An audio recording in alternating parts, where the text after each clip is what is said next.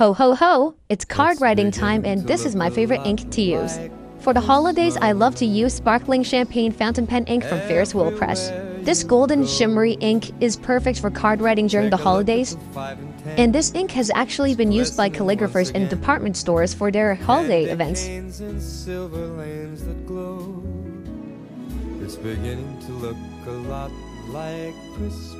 Happy holidays, everyone, and happy writing.